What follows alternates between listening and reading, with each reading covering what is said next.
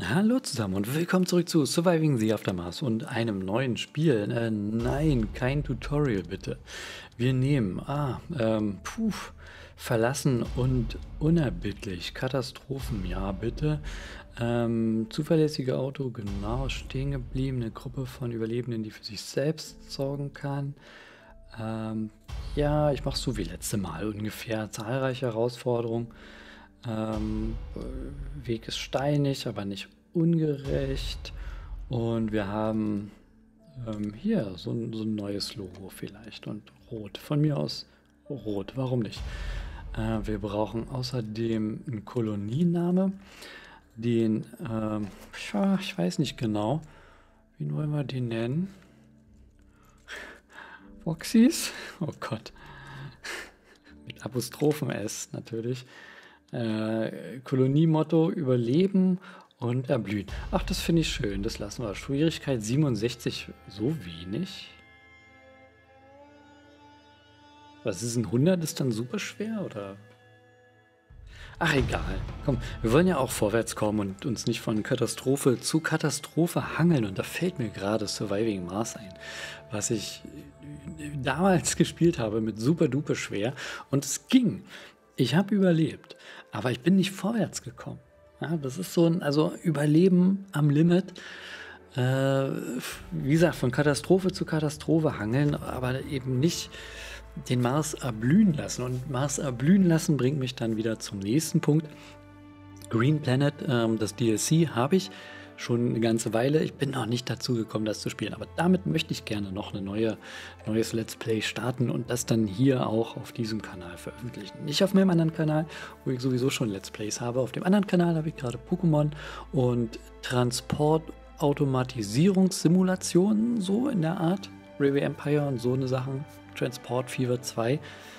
Und Pokémon habe ich schon erwähnt, ja. Und auf diesem Kanal möchte ich eben diese Koloniebau ähm, Apokalypse, Alien, Weltraum-Ding wieder etablieren. Ähm, immer wieder werde ich gefragt, was ist denn hier mit äh, Panzervideos und so. Ähm, neulich habe ich Mats dazu eine ganz ausführliche Beschreibung, äh, Erklärung gegeben, schriftlicherweise. Warum lädt denn das hier nicht? Geht es nicht weiter? Abgestürzt oder was? Ähm, und gesagt, ich habe schon ein Video aufgenommen und dann doch nicht veröffentlicht, weil das ist so bla bla. Und ich dachte, das Gelaber will doch keiner hören. So, beim zweiten Mal laden hat es dann funktioniert. Ich muss das Spiel leider neu starten. Es ist abgestürzt beim Laden des Spielstands. Deswegen ist das Koloniemotto ein anderes. Ich habe mir jetzt nicht die Mühe gemacht, ein neues auszuwählen. So, wir haben hier unser kaputtes Tor. Wir haben hier unsere paar Leute ohne Wohnraum und äh, was sollen wir hier immer machen? Baue mehr Unterkünfte. Okay, wir gucken mal, wir bauen eine Notunterkunft ähm, hier drüben hin.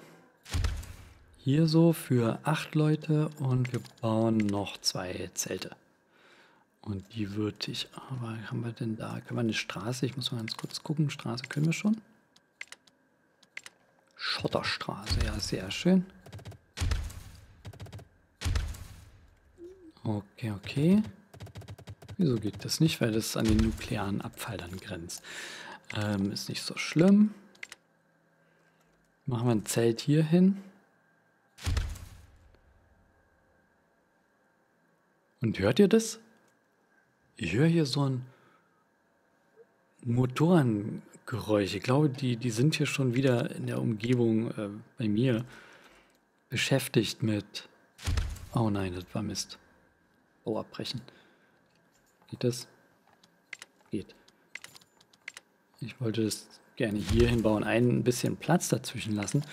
Und dann, ja, äh, was wollte ich sagen? Hier die, die, Laub einsammeln und so weiter. Und den ganzen Tag. Mäh, mäh, mäh, ich werde wahnsinnig. Wahnsinnig mit Michael Wahnsinn. Und ich nehme meine Tastatur schlag die gegen den, so wie das Kind, das ein Computerspiel, ich weiß gar nicht mehr, was er spielen will. Ah, ist auch egal. So, hört man hier eigentlich was? Ist hier Sound im Spiel? Ja, okay, ist nur gerade keine Musik. Ist ein bisschen ruhig geworden. Äh, wir müssen Zeugs abbauen. Ne? Wir können, was haben wir denn? Ein bisschen wenig Zement. Hier. Ähm, bisschen wenig Bären. Und was macht er hier? Er ist unser Lagerplatz im Augenblick. Wir haben Schokoriegel und so weiter. Ein bisschen Medizin, okay. Ähm, Soweit, so gut. Wir haben leider so viel Wasser in der Nähe. Und wenig Bauplatz hier drüben. Ne? Wenn wir die Bären abgesammelt haben, können wir in die Richtung expandieren und bauen. Hier grundsätzlich auch, aber hier ist halt alles voll mit nuklearem Abfall. Hier haben wir auch ein bisschen nuklearen Abfall. Also wir müssen da unbedingt ähm, die, diese Umweltstation bauen. Und ähm, ich bin gespannt, ob ich es jetzt im zweiten Anlauf schon alles ein bisschen besser hinbekomme als beim, beim ersten Anlauf, weil ich ja weiß, was kommt oder zumindest äh, was es noch geben wird. So, und meistens hilft das ja ein bisschen. Ja, was, was können wir denn noch bauen? Wir können hier draußen das Tor. So, die sollen mal anfangen. Ich habe jetzt nicht auf meine Ressourcen geachtet und ob ich genug habe. Oder ob da irgendwas fehlt. Aber es ähm, ist eigentlich alles gut. Können wir schon ein kleines Feld bauen? Ja, das sollten wir dann auch tun. Hierhin. Ähm, wir haben einen Fallensteller, den sollten wir, wir können auch schon hinbauen. Und Fischerhütte ist nicht schlecht. Dass wir das schon machen können.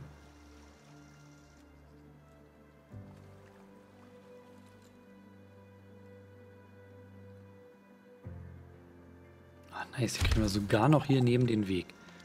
Das ist doch super. Können wir die Schotterstraße hier lang bauen. Oh, dann sieht das schon mal ganz niedlich aus. Oh, wir haben kein Wasser. Genau, das haben wir noch vergessen. Wasser ist hier. Wasserbrunnen. Auch das ähm, ge gebalanced worden. Sie haben gesagt, dass ähm, Wasser im, im Falle einer Trockenheit äh, langsamer verbraucht wird, weil ähm,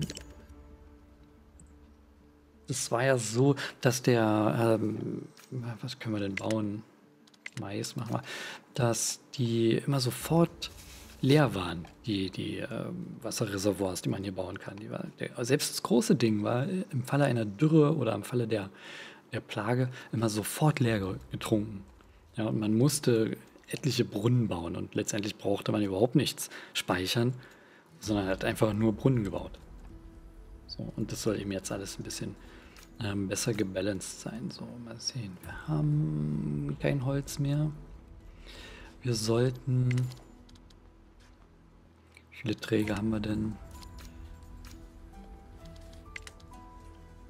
Die Arbeitszone einfach ein bisschen weiter rüberlegen. Dann sammeln die auch das Holz ein.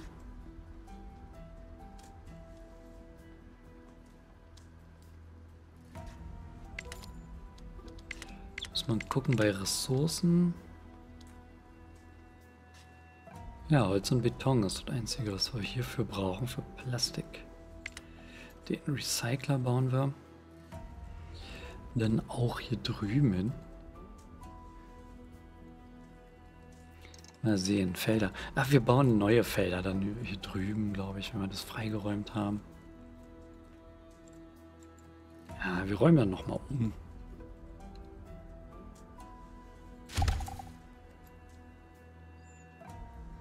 So. Ja, aber Priorität hat auf jeden Fall das Tor. Ah, und das, das ist unsere... Ah, ich sehe schon, wir brauchen Metalle, wir brauchen Plastik, alles, was wir nicht haben. Hm. Wir kommen wohl nicht umhin, hier äh, erstmal alle Ressourcenteile zu bauen, die wir bauen müssen.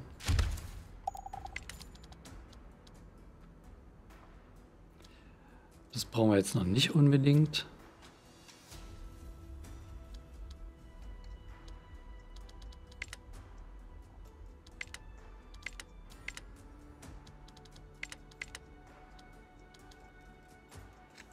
Ja, ist okay. Wassermangel, das ist natürlich, der hätten wir viel früher bauen müssen. Ne? Was fehlt ihm was? Ihm fehlen Bretter. Das heißt, er hier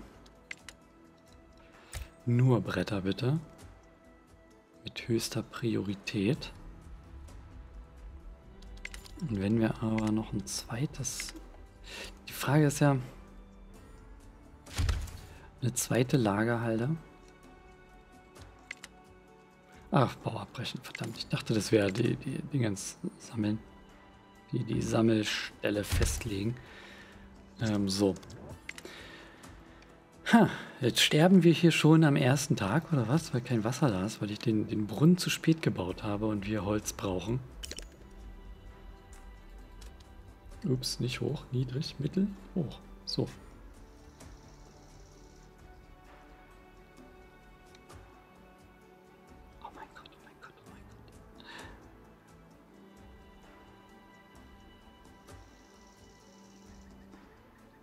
Wie sie es alle woanders hinbringen, das scheiß Holz.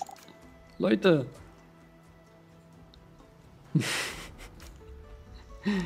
Ihr braucht die Bretter beim Brunnen, Mensch, macht doch mal kommt keiner auf die Idee und sagt, Durst, Brunnen, ich bringe Holz hier unten hin.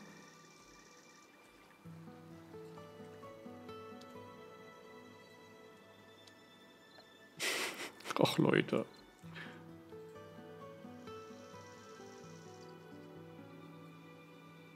Ja, eh schon alles Holz hier. Das ist auch unglaublich. Und äh, nachts. Och, ach, kommt schon. Genas. So, oh, Gott sei Dank. Endlich zwei Brunnen. Ne? Jetzt haben wir genug Wasser. Ähm, 12, 22 insgesamt. Wieso macht der hier 7 und der macht 15? Wieso ist der so schlecht? Ha, vielleicht hätten wir den doch woanders bauen sollen und nicht da. Naja, ist egal. Wir haben jetzt hier einen, der soll den Mais bauen und äh, der Rest wird hoffentlich auch irgendwann fertiggestellt. Der Fallensteller braucht noch ein bisschen. Ähm, ja, dann baue ich mal baue ich mal die Sachen, die wir letztes Mal schon angesetzt hatten. Ähm, Schürfzug sollte hier hin. Und der Recycler hier hin.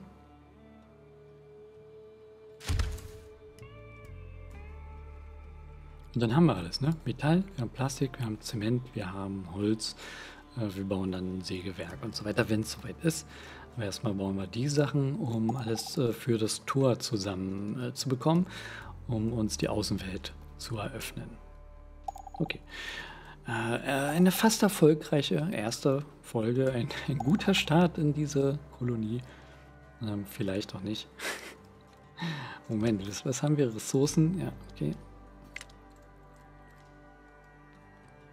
Wir holen Holz von hier. Wir holen Beton von hier. Nahrungsmittel. Dann von hier. Wir kriegen auch schon Fische immerhin. Ich hoffe, die können die auch pur essen. Bisschen Dörrfleisch, Proteinriegel, Kartoffeln. Fische läuft noch nicht so. Aber wird bald. Den Fallensteller können wir nicht. Ne? Wir brauchen Plastik. Das heißt, wir brauchen den Recycler. Und der kommt bald. Wir brauchen eigentlich nur noch Zement. Wir haben auch Zement. Ja, also es geht alles sein, seinen Gang. Ich sage danke fürs Zuschauen. Ähm, ja, wenn es euch gefallen hat, wie immer, Daumen hoch, auch wenn es ein neuer Neustart, ein, ein holpriger Neustart ist. Ähm, in einer Kolonie, was wir eben eigentlich schon gesehen haben, aber wir, wir werden bald, ähm, bald äh, schon wieder da sein, wo, wo wir zuletzt aufgehört haben. Und dann Jetzt können wir auch das hier bauen. Sehr gut. Sehr gut. Sehr gut. Es geht voran. Bis zum nächsten Mal. Ciao.